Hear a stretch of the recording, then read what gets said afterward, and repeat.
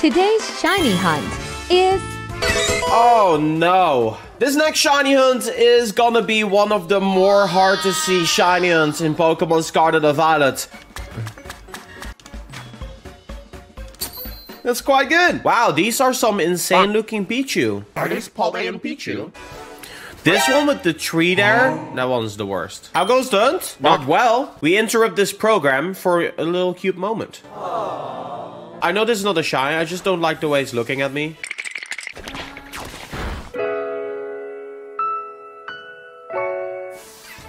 That's it, right? Yes! Oh, man!